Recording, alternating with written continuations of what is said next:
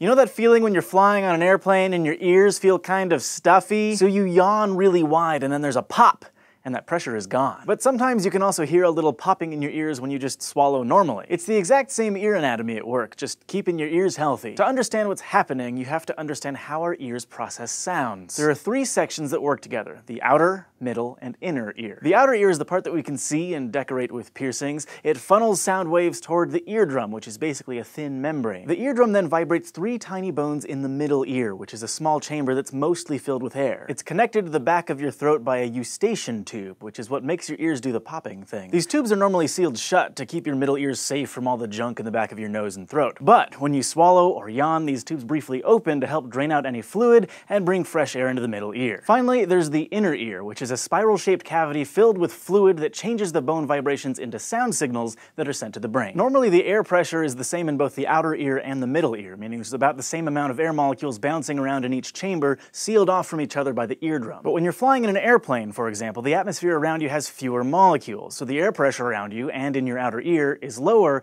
but the air pressure in your middle ear stays the same. The extra air molecules in your middle ear push a little more on your eardrum, so the membrane bulges out a little bit and causes that uncomfortable stuffy feeling. Your eardrum also can't transmit sounds as well because it's stretched too much to vibrate normally. So when you chew gum, or swallow really hard, or yawn, you're trying to open up your eustachian tube so the air in the middle ear can have the same pressure as the airplane cabin. The rush of air into or out of your middle ear and your eardrum adjusting a little bit is the pop you hear. Doctors recommend being careful about holding your nose and blowing though, because if you blow too much air through your eustachian tubes, you could tear your eardrum or just send gross stuff from the back of your throat into your middle ear. But a really gentle blow or swallow to pop your ears on an airplane is totally normal and healthy. And it has nothing to do with popping your actual eardrum, because that would hurt. Thanks to Patreon patron Jordan for asking this question, and thank you to all of our patrons who keep these answers coming. If you'd like to submit a question to be answered or get some episodes a few days early, just go to patreon.com slash scishow, and don't forget to go to youtube.com slash scishow and subscribe.